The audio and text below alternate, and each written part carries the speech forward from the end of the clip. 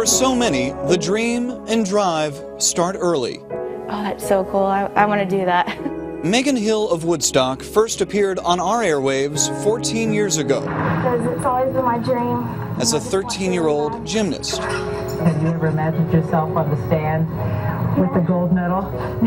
A decade later, in a different sport, 25-year-old Megan Hill. the dream and drive took Megan to the ice. Being from Georgia, being in bobsled is culture shock. She began the 2013 bobsled season eyeing the 2014 Olympics. I was USA 5, the fifth ranked pilot in the US, ready to just claw my way up the rankings and get after it.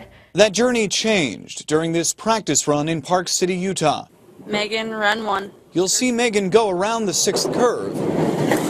You'll hear what happens next. I crashed out of curve six. Your helmet is on the ice and it's dragging on the ice. The sled is completely out of control, upside down, flying through all the curves. I just close my eyes and just, you know, wait till it's over.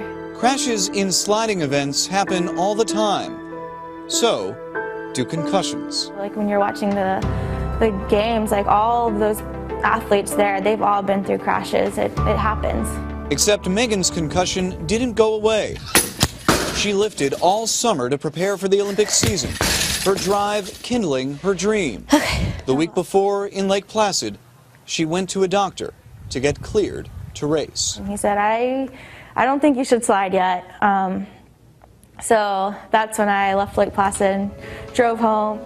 One year later, Megan still can't shake her symptoms. I see floaters and I see like bright flashes. What old was I? While she waits, One.